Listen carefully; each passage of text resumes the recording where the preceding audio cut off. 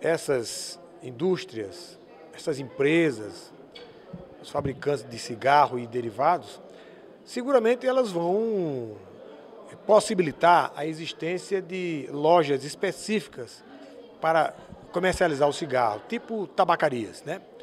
Então, deverão ser criadas essas, essas lojas, ou pelo menos incentivar a criação dessas lojas.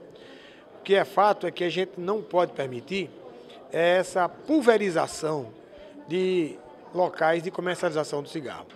Porque tem um, um trabalho que mostra que 80% é, da decisão de comprar o cigarro acontece no local de venda. Portanto, se a gente restringir a quantidade de locais que comercializam o cigarro, nós vamos restringir a quantidade de pessoas a adquiri-los.